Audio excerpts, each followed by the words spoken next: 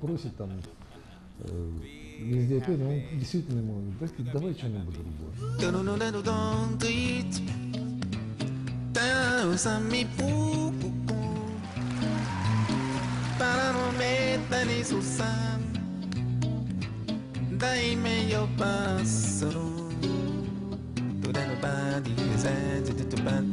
Просто сделали саундчек, проверили, что баланс был, и разошлись. А потом уже, когда там во время концерта он так вызвал меня, ну и сели просто тупо две вещи так отломали. Ну, ты- ты же Но, понимаешь. конечно, э, с- человеком, который, в общем-то, тебя чувствует, ну, я надеюсь, что он меня тоже чувствует. Музыканты, они же сразу врубают. Да, и, в общем-то, Они же сразу врубают, им не надо там сидеть, там то. Вот я, ско- я помню, значит, ты, ты говоришь, вот он тебя приглашает, где денег нет и т.д. и т.п. Не, мне это не важно было. Значит, Даже подожди, он- вот я тебе сейчас расскажу быль тоже человека, которого мы прекрасно вдвоем знаем. Когда Леше Козлову было э, 60 лет исполнилось, это было, ну, 17 лет тому назад где-то. Да? 17 лет тому назад, и вот э, мне звонит Леша из Москвы, говорит, Янчик, говорит, я очень хочу, чтобы ты приехал, говорит. Ну ты понимаешь, говорит, где это Москва? У меня нет ни спонсоров, никаких вот это. Я сел и приехал.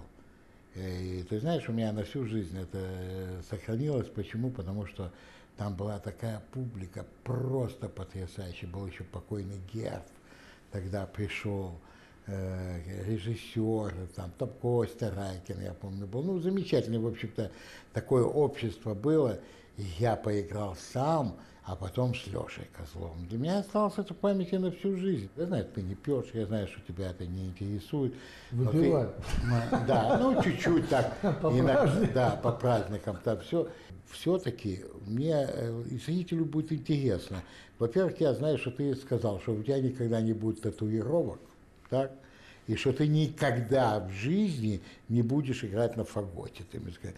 Но по поводу татуировок я с тобой согласен. Но что ты имеешь фагот, объясни.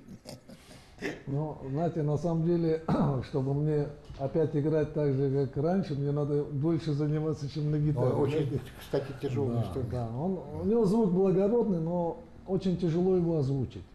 Вот э, фагот ну, чисто такой камерный инструмент, скажем, духовой, да, и он на похороны с ним не сыграешь. Да, как да, конечно, не заработаешь, конечно. На джазовую музыку не поиграешь. Да, его- тоже, он не техничный. Если его надо 5-6 микрофонов поставить, Да, потому что да. с каждый звук идет, допустим, не за оттуда, Да. верха оттуда. И то есть это все надо озвучивать так э, щепетильно, Да. что ты можешь даже микрофоны там поломать, когда Да. будешь пальцами работать. Вот. Но на самом деле им пугать хорошо. Он с виду как гранатомет. Ну, по- это переносное название автомата, когда говорят фаготы. Ребята с фаготами пришли. Я, когда служил в армии, я играл на фаготе в Хабаровске, в ансамбле песни и пляски. И там был такой Жора, барабанщик. И Жора всегда вот на этот фагот показывал и говорил, гранатомет системы Манжух. А Манжух был э, гла- главный дирижер нашего это, ансамбля песни и пляски, Иосиф Моисеевич. Гранатомет системы.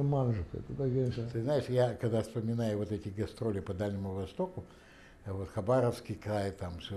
Ты же, наверное, ездил на этом поезде Маруся, которая называется, там по, по старому сталинскому БАМу. Вот мы в Набам ездили, но какой поезд, я не помню, честно говоря. Но мы жили в вагонах там. До, Да, во в вагонах да. мы тоже жили, в Ну, вагонах где там, было там жили. как шмели, блин, елки Это вообще, я вспоминаю с содроганием, вспоминаю. Ты мне скажи, а ты достроил свой дом? Сколько лет ты его строишь? По-моему, я уже Не, знаю. ну, я достроил, конечно, живой, но все хорошо. Все хорошо, слава Богу. Я Газ есть, вода есть. Ну, асфальт еще нам, к нам не проложили. Знаете, как вы, Петросян в своем юморе говорит, недавно, говорит, у нас на улице, говорит, положили асфальт, говорит, до сих пор эта кучка там и стоит. Мне просто вот интересна твоя биография. В каком году ты вернулся в Крым? В 89-м, В 89 в августе месяце. Это когда Горбачев разрешил, и вы начали Нет, возвращаться Россию. а, как бы Это было еще раньше возвращение. Лично я вернулся в 8 э, в 89-м, а там еще в 87-м пока Ну, ты знаешь, я, волна э, пошла. я встречал, я очень много крымских э, татар встречал э, в Узбекистане, в Казахстане. Встречал. Я это очень- везде было. И Да, на да. Урале, в Оренбурге. Они приходили, я общался, На меня, Кавказе да, да, да. да, да, да, на, на Урале были, на Кавказе были. Ну, на Кавказе немного было их там. Притом они себя называли э, другой национальностью, они не говорили, что таким Ногайцы, да. Да, Ногай, да, ногайцы. да, Ну, нагай. это- Они, они говорили, что они нагаи, но мне втихаря они потом говорили, потому что я как-то так э, дружил с ними, они мне говорили, ну, вообще наши предки, говорит, это э, крымские. А что Нагая? Нагая это те же, в общем-то, они жили в тех же степях. пи- пи- Ну, это же поколение, все это вот э, с Чингисхана, вот эти вот все ветви оттуда идут. Ты себя считаешь потомком Чингисхана, скажи мне. Ну, вы знаете, я его лично не знал. Я понимаю, но я тебе на могу самом деле, сказать, знаменитый... Это историческая личность. Я, я думаю, что Конечно. я с удовольствием бы- был бы его потомком, если это реально.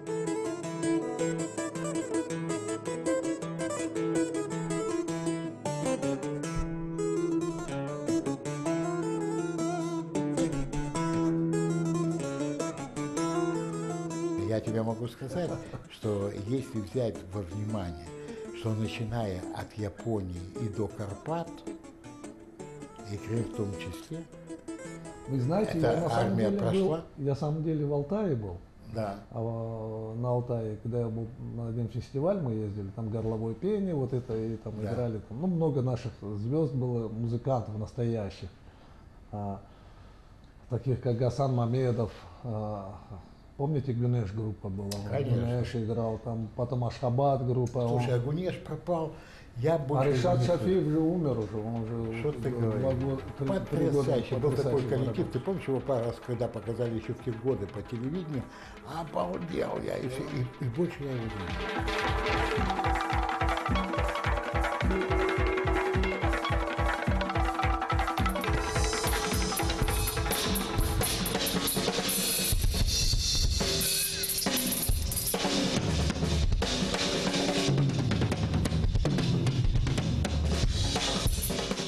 Я-то с ним знаком был. И когда было этот Азия Даулцы был такой фестиваль в этом э, в Алмате, на Медео. Там проводился ежегодный фестиваль международный, где, ну, Азия Даулцы это голос Азии, вокалист. И самый мне потряс этот момент, когда Решат вышел после всех этих певцов, которые соревновались, Да, кто да. лучше споет, кто должен пол- получить премию, он вышел на барабанах так отломал, что все премию вокалиста отдали. Потрясающе. Помнишь, это гора барабанов Это было для меня такое радость. Я вот Да. музыкант, говорю, с вокальным ансамблем на вокальном конкурсе взял первое место в гран-при.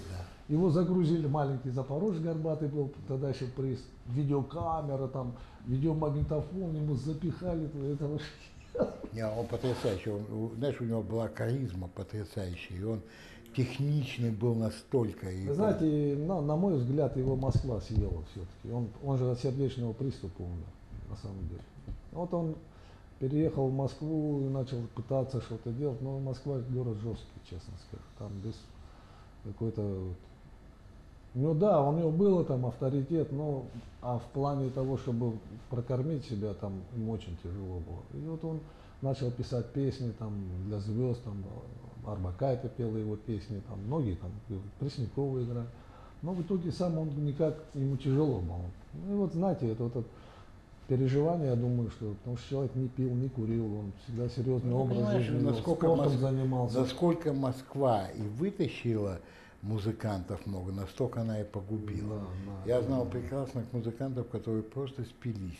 Просто спились там. Почему? Потому что, во-первых, им надо было э, пить для того, чтобы как-то и- энергетику поддержать в себе, и они потихоньку, потихоньку Там же не- ненормальная жизнь в Москве. Да, там, там ночью ну, люди гуляют, ну, работают, да, а да. днем или спят, или приходится еще куда-то бежать. Да, это, это мне знакомо. Я в свое время, я мог уехать в Москву, я не поехал. Просто не. Вот когда это было, это было где-то в 90, 93-94 год.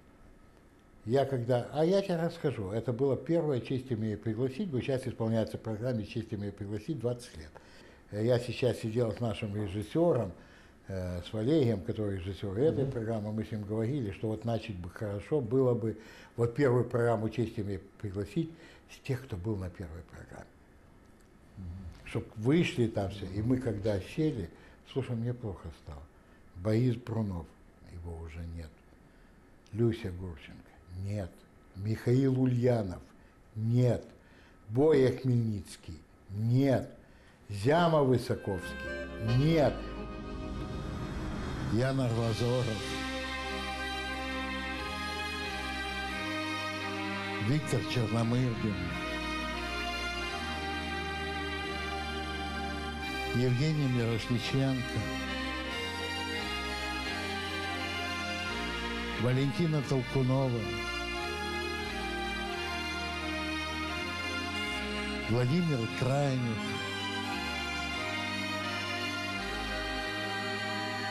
Алла Баянова, Людмила Гурченко.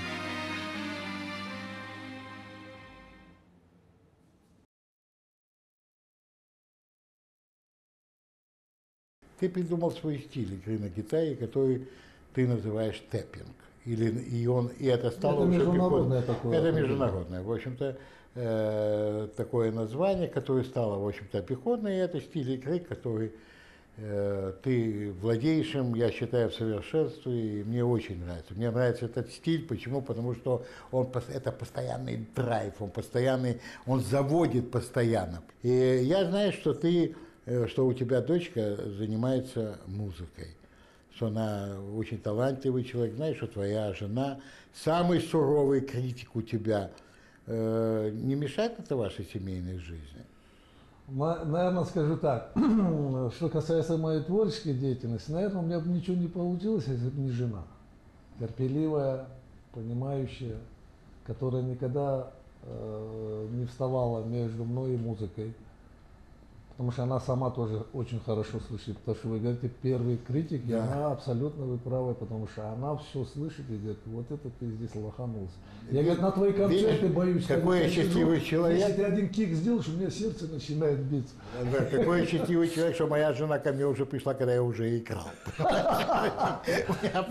Нет, ну, я женился, я же тоже тогда играл. Да. Когда мы женились, я же тогда тоже играл. Вот. А что касается вот этой техники, там есть два варианта. Ну, я, в общем-то, вы сами понимаете, что к этому просто раз прийти не получается. Тем более э, не было ни видео, ни, ни- ничего в наше время, что мы могли у тебя. Радио послушать и диски вот эти крутящиеся, переписанные Мгм. раз 10-20, чтобы что-то услышать. Конечно. Я же не говорю о Конечно. тэппинге там. О тэппинге тогда не было. Ну, что хочу остановить, помните, мы о свадьбах говорили Мгм. с вами. Вот на свадьбах, когда ты играешь без перерыва, вот перед тобой носят всегда блюдо, ты голодный, ты играешь, там, я что, медиатором тоже играл. И вот начинаешь играть, и вот пока смотришь, э, вот это сейчас или унесут, или оно остынет, а играть ты знаешь, что перерыва нет. И тут одной рукой ты играешь, а другой закусываешь. Оттуда, оттуда появился стиль. Оттуда появился Ну, стиль. Да. И Ну. вот получается, что потом сижу, уже как-то машинально начал замечать, что я вообще-то играю, а эта правая рука свободна. Что с ним делать? Ну, домой приходил, тоже вот, даже бывало со свадьбы придешь уставший, а вот это тебе покойно, вот я сегодня играл, это так звучит, а почему вот эта рука ничего не делала? Ну, я потихонечку начал заниматься.